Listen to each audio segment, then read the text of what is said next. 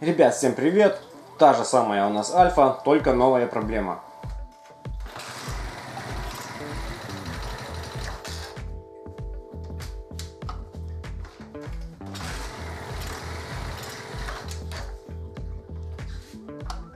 Если не смазывать тросик, то он будет зависать э, в коробе. И вот такая же ситуация, как видите, у нас. Но если же рукой помочь вилочке уйти вниз,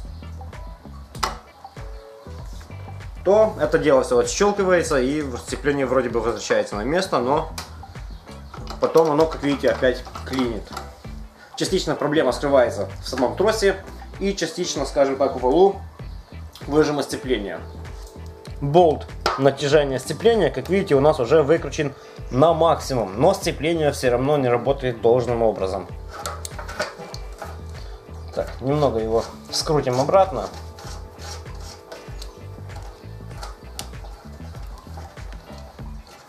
Боже, все поржавело, все закисло.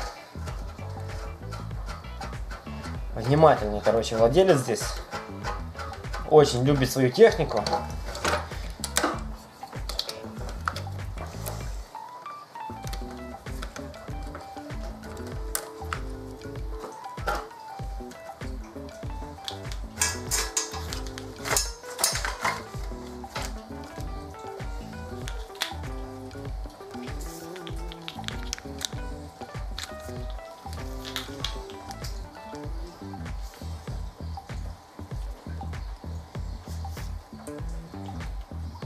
Как видим, трос у нас сухой, ни грамма смазочки абсолютно нету.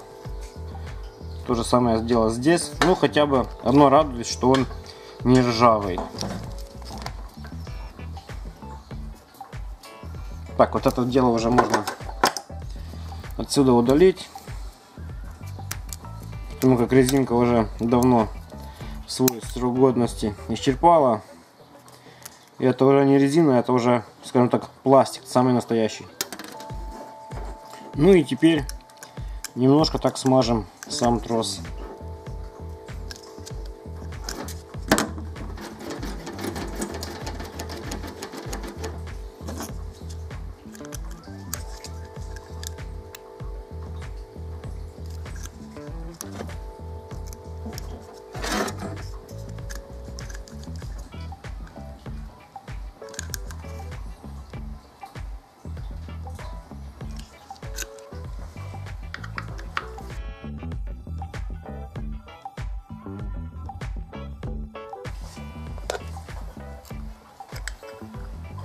Ну вот, можно сказать, что сюда уже кто-то лазил. Не должно быть вот такого вот люфта.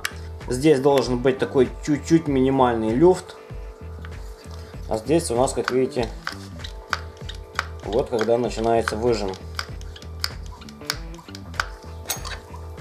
Ну то есть, сейчас попробуем выставить ее правильно. Отпускаем винтик.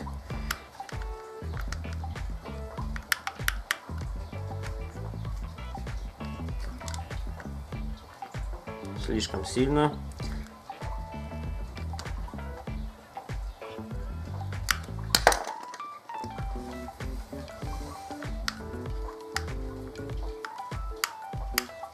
Еще чуть-чуть.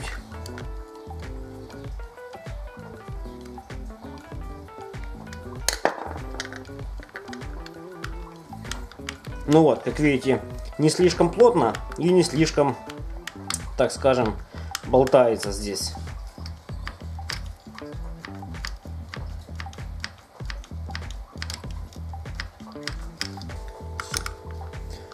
Можем контрагать обратно ее.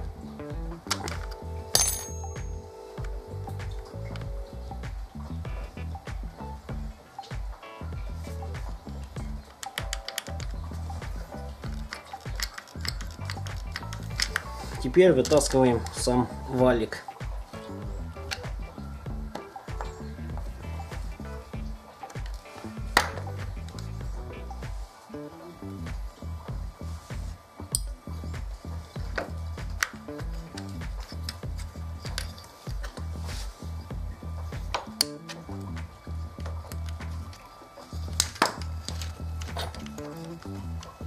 Ого! Короче, походу здесь все плохо. Короче, закисло здесь.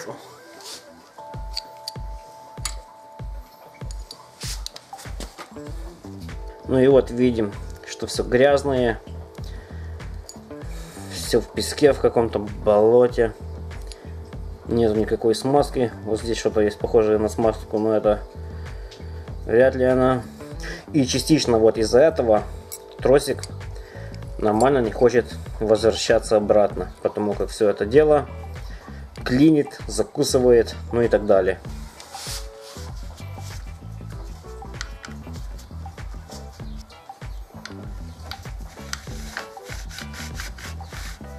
И первым делом вилочку вот эту вот нужно почистить.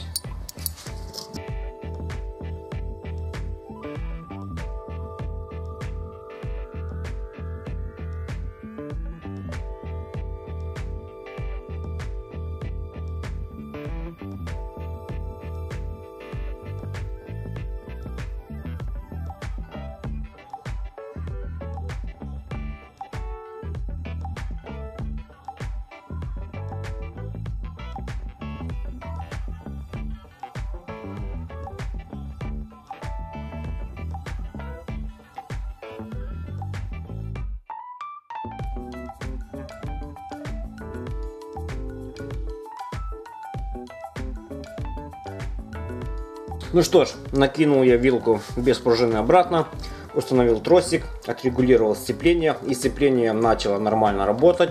Но, как видите, по-прежнему винт натяжки троса выкручен на максимум. Это нас не устраивает, нам нужно хотя бы, чтобы он был где-то посередине, может даже и чуть выше, дабы у человека был запас регулировки натяжения троса. В прошлом видео я подкладывал вот сюда вот гаечку, дабы э, приподнять трос. Ну, то есть для того, чтобы у винта натяжения был больший запас регулировки. Ну, а сегодня я не буду ничего подкладывать. Я буду вот эту вот вилку опускать ниже, дабы запас регулировки у нас был намного-много больше.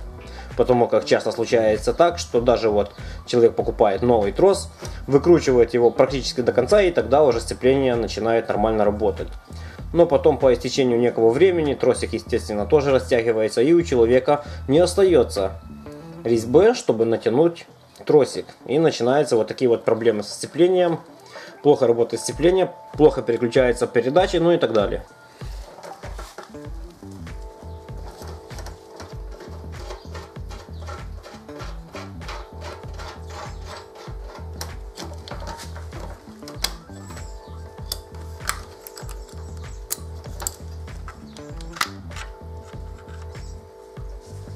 Итак, вот эту вот резиночку типа защитную я снимаю, потому как вот эту вот часть я сейчас буду греть.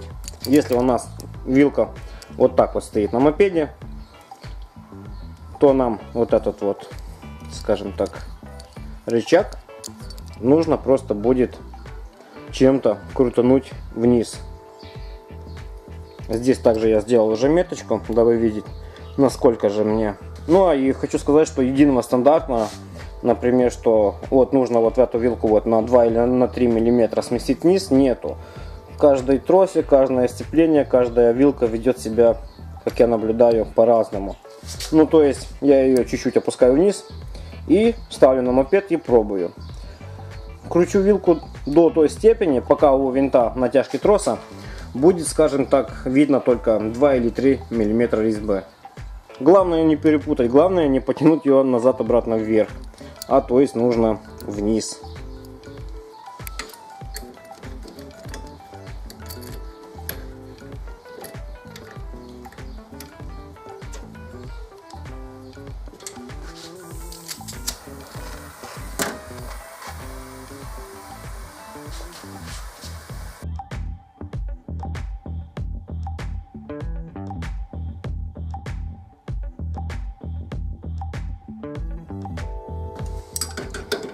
Теперь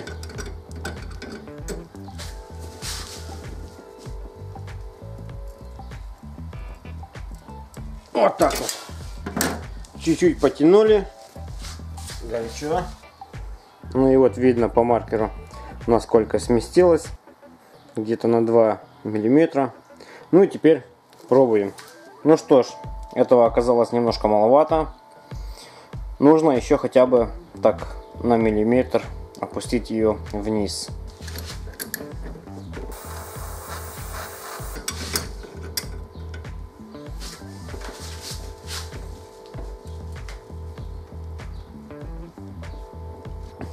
Ну вот, чуть-чуть поджали вниз.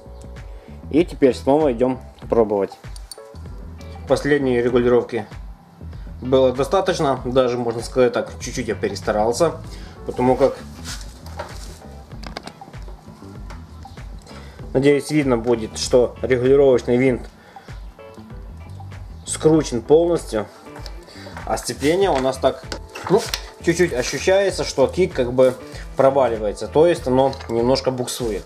Но это ничего страшного, ведь у нас же есть вот этот вот регулировочный винт, и мы с помощью него можем исправить так, как нам надо. Так, чуть-чуть его подпускаем. И затягиваем. Вот.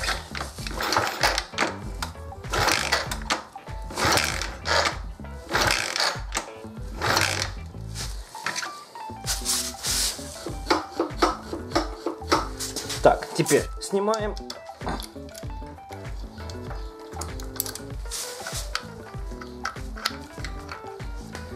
Устанавливаем обратно защитную резинку.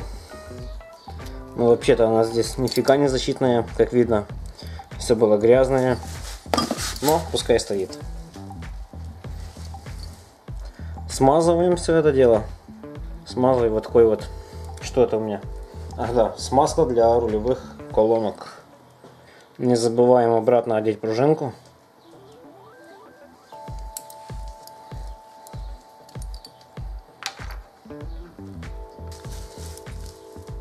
И ставим обратно шплинт.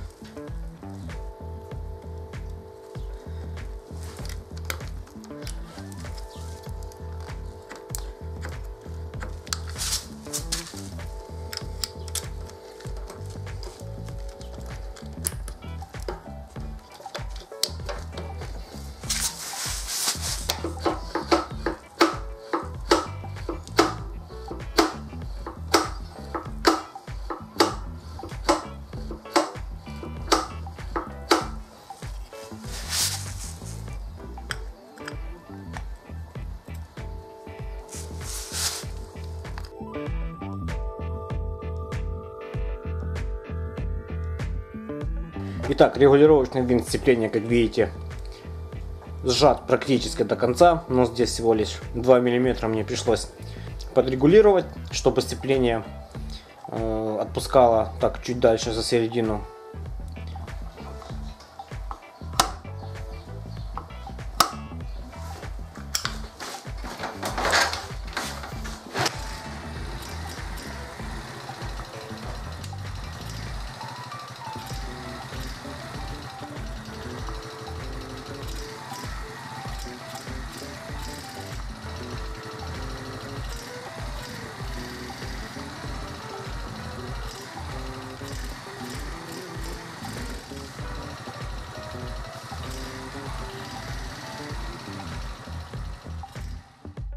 Ну что ж, народ, у меня пока все. Надеюсь, это видео было вам интересным и познавательным. Берегите свою технику. Всем пока. Ах да, и будьте внимательны при покупке вон таких вот запчастей.